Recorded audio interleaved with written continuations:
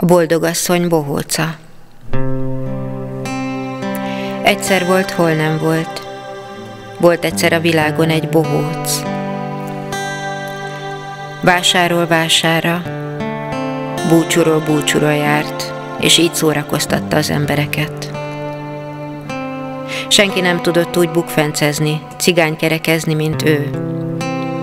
Aztán köteleket feszített ki a fák közé, azokon szaladozott, közben színes labdákat dobált fel az égig, és mindig mindet elkapta. De még ennél is több volt a tudománya.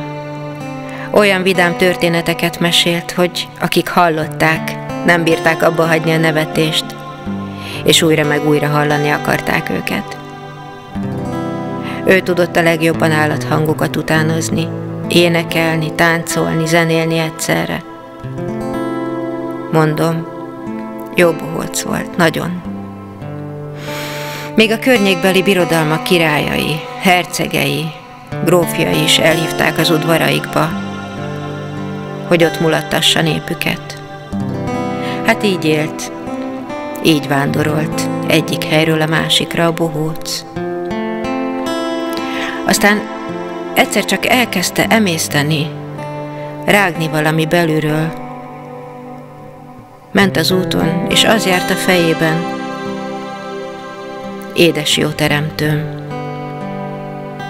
Mit mondok majd, ha megkérdezett tőlem? Mire volt jó az én életem? Mit mondok majd akkor? A szent trónusod előtt. Azt, hogy végigbohockodtam az életemet?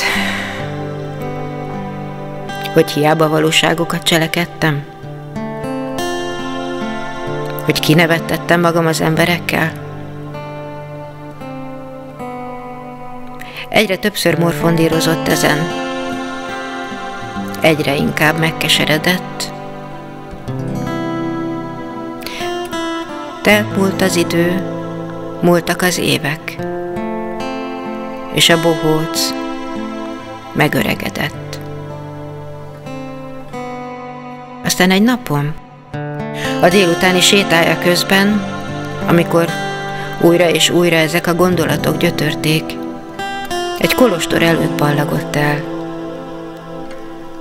Nézte a kertben a szerzeteseket, ahogy dolgozgatnak, és akkor eszébe villant valami.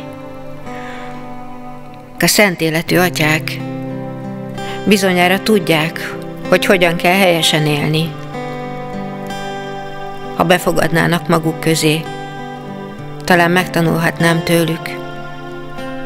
Akkor majd, akkor majd nyugodt lélekkel állhatnék az Úr elébe.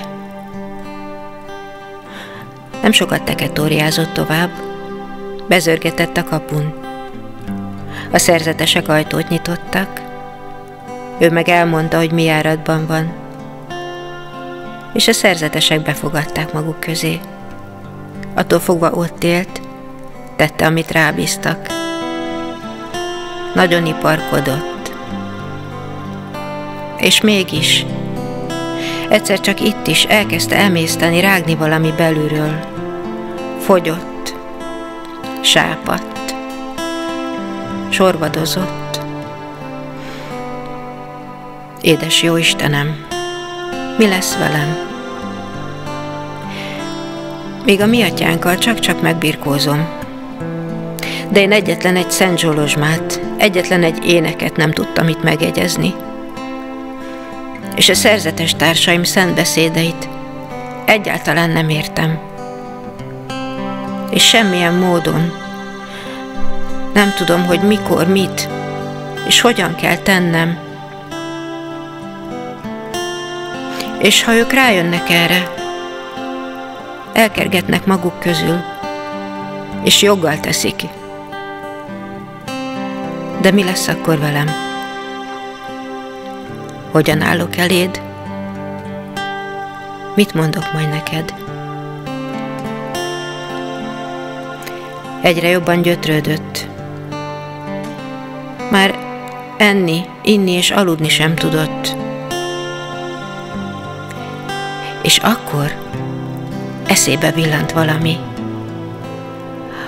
A kolostor kertjében, a legeldugottabb sarkában áll egy régi-régi Mária szobor.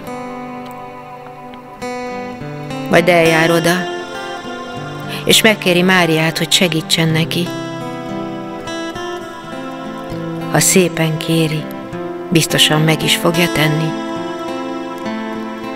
És ettől kezdve az öreg bohóc délutánonként kiosont a kolostorból, este felé pedig fáradtan, csapzottan támolygott elő.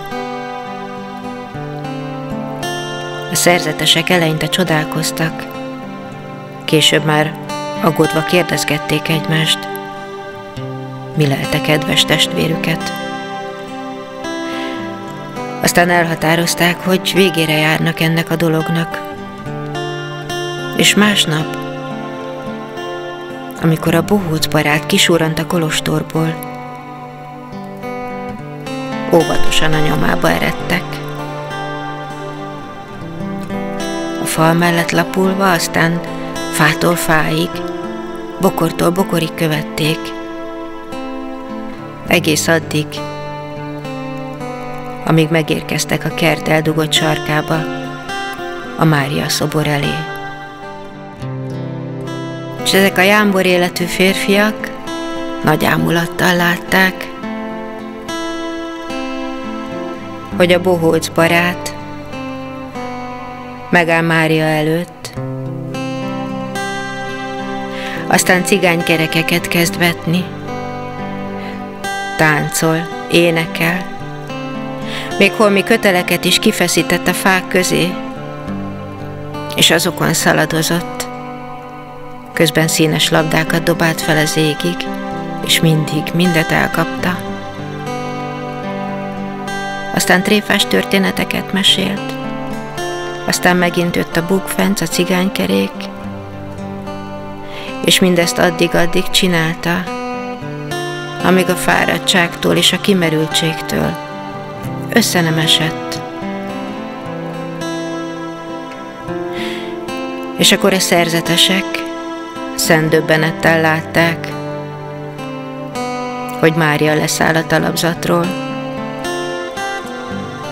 Oda megy a földön fekvő mellé. Leül. Leoldja a kendőt. Ölébe veszi a bohóc fejét, és törögetni kezdi róla az izzadságot, a verítéket. Egész addig, amíg a bohóc magához nem tér. És akkor Mária visszamegy az oszlopra. A bohóc pedig lassan talpra áll és rogyadozó léptekkel elindul a kolostor felé. A szerzetesek pedig szépen lassan utána osontak a kolostorba. Este aztán, amikor az imához gyülekeztek, felállt közülük a legöregebb, és azt mondta, Testvéreim, ma egy igazi csodát láttunk. Ma láthattuk, hogy a szép szeretet édesanyja mennyire megérti az egyszerű szívek áldozatát, mert ő nem arra kíváncsi, hogy mi az, amit nem tudunk, hanem azt fogadja el jó lélekkel, amit tudunk, ami a miénk, amit szívből és örömmel adni tudunk. Hát így volt, mese volt. Amit mondtam, igaz volt.